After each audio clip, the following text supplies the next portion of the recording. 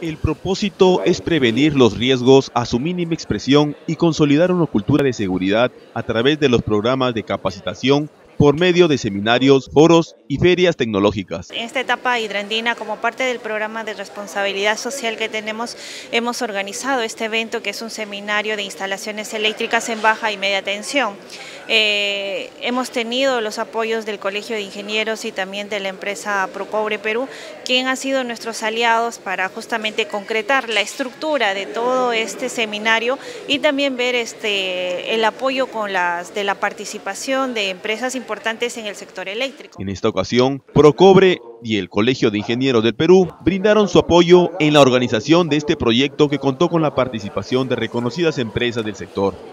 Sí, el, las instalaciones eléctricas que sabemos están en media y baja tensión. Entonces ahorita en función a las ponencias que tiene están enfocando en las prevenciones, las medidas de seguridad que se deben tener en los equipos tanto para el tema domiciliario, que es este digamos un tema interno en baja tensión y también vamos a ver el tema de arco eléctrico y sistemas de protección para un caso ya en media tensión. Este evento académico estuvo dirigido a profesionales en instalaciones eléctricas, colegios profesionales, técnicos, autoridades e instituciones de la región, además de estudiantes de la especialidad, así como usuarios del servicio público de electricidad.